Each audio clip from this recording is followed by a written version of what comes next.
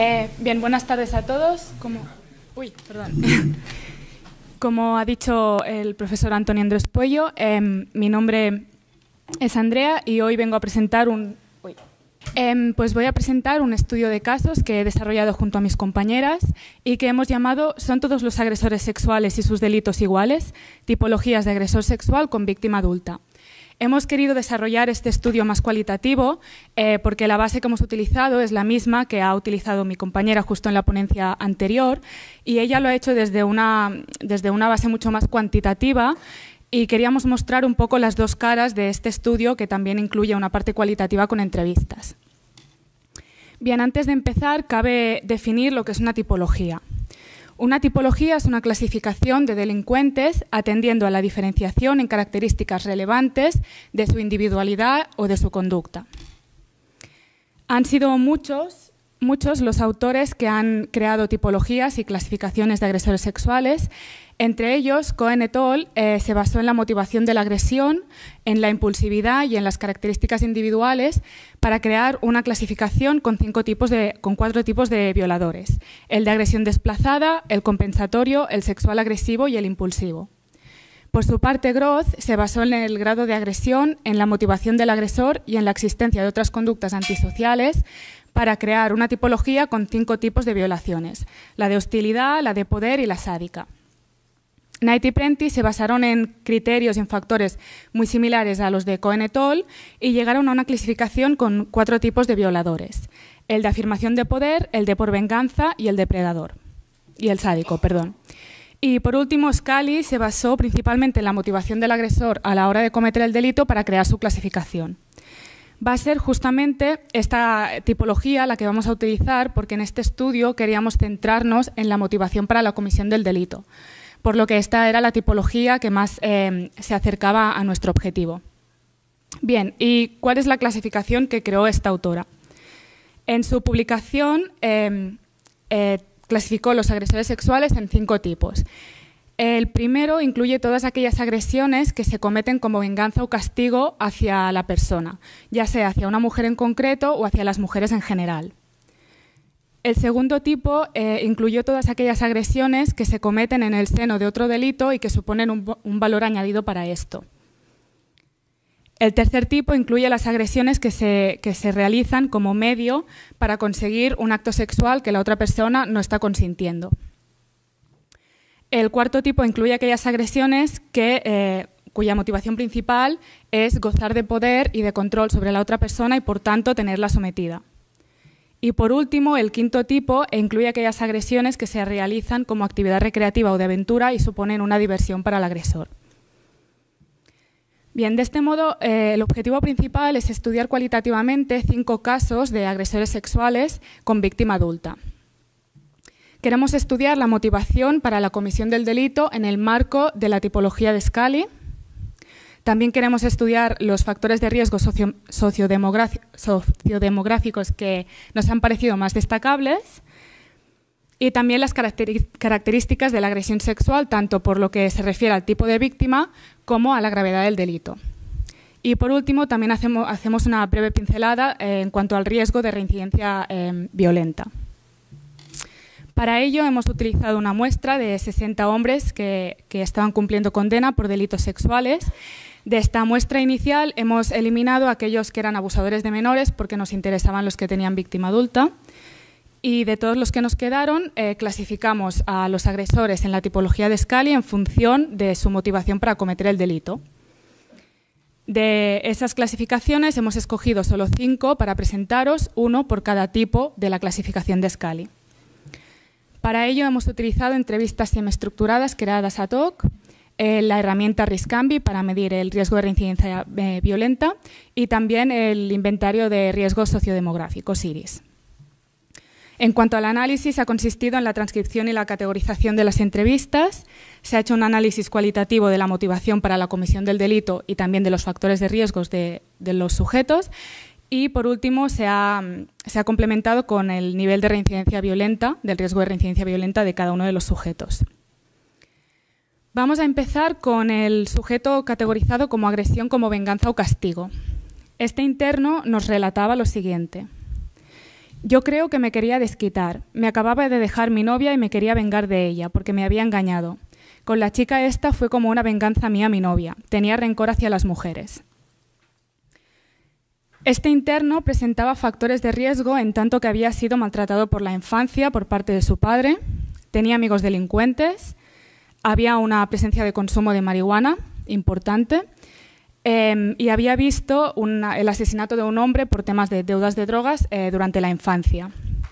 Su víctima era desconocida y fue un delito de agresión con penetración vaginal sin uso de fuerza ni de amenazas y el riesgo de reincidencia violenta de este sujeto era bajo. En cuanto al segundo tipo, a la agresión como valor añadido, otro delito, el sujeto nos contó. Estaba en la carretera de al lado de mi pueblo. Iba a buscar el dinero. Primero le quité lo que tenía y luego fui a violarla. Eso ocurrió en aquel momento, cuando la tenía allí. Preparado era quitarle el dinero, nada más. En este caso se trata de un sujeto que también sufrió eh, maltrato en la infancia por parte de su tío, esta vez, había un consumo de marihuana también importante. Había presenciado delitos graves con peleas con apuñalamientos por el entorno en el que se movía y por esa misma razón también eh, había tenido varias oportunidades delictivas. Presentaba también antecedentes de robo con violencia.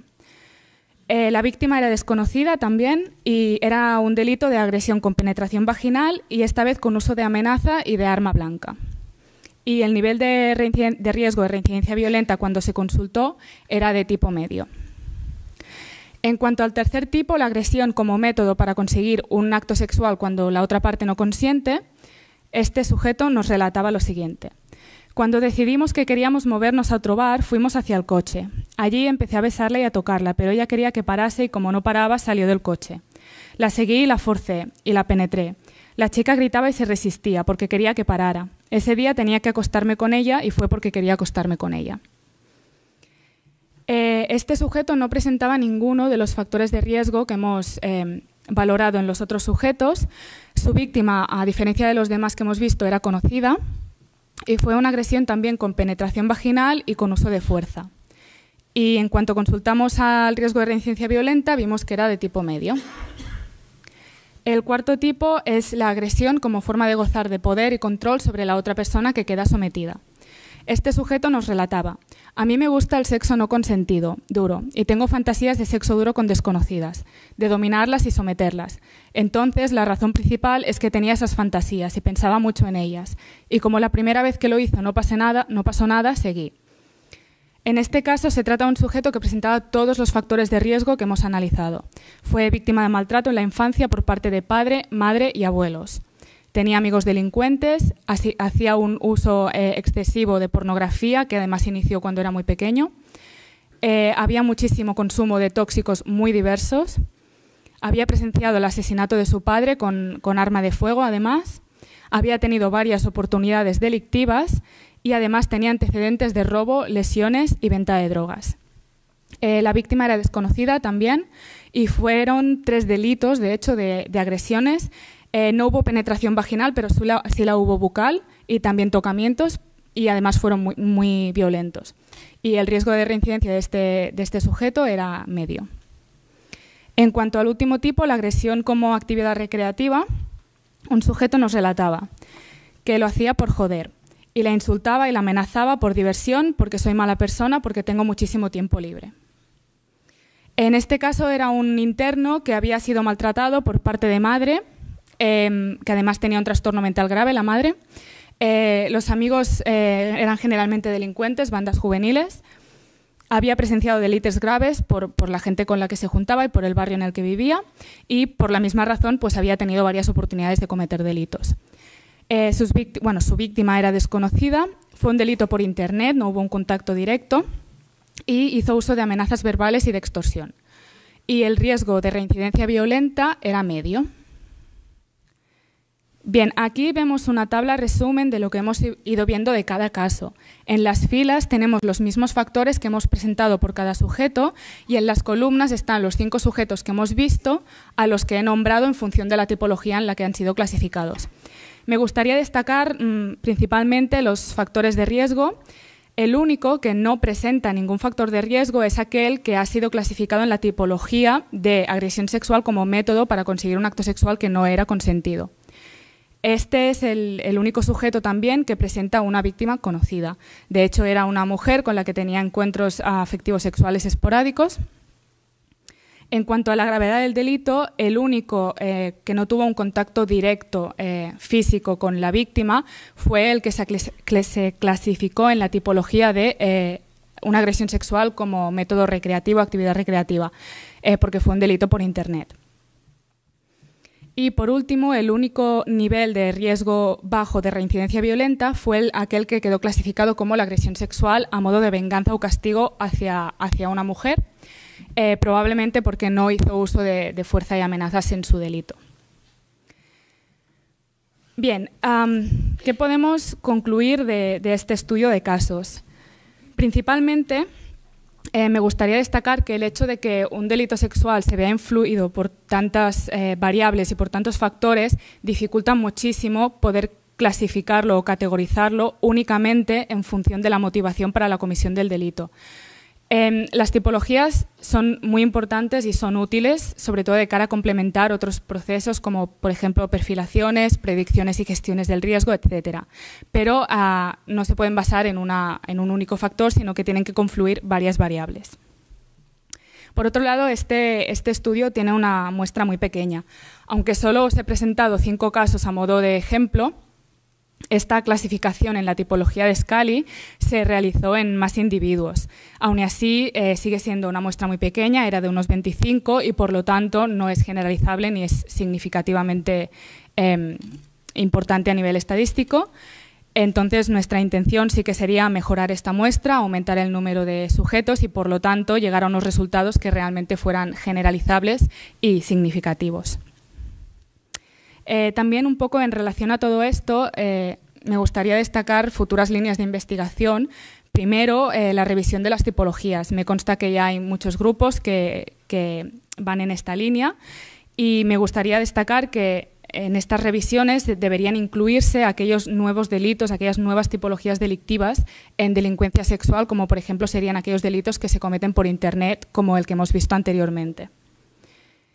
Por otro lado, a medida que realizábamos este estudio, nos preguntamos si, es posible que la motivación para la comisión del delito tenga bastante más peso eh, del que se piensa en relación a aspectos del tratamiento, eh, la predisposición a realizarlo, la adhesión a este, la eficacia, etcétera por lo que consideramos que también es una línea interesante eh, para futuras investigaciones el analizar la relación entre estas dos variables, puesto que al final categorizar y, ordenar y estudiar a los agresores, uno de sus objetivos más importantes es precisamente em, mejorar el tratamiento para obtener unos resultados que nos eh, faciliten reducir el número de este tipo de delitos.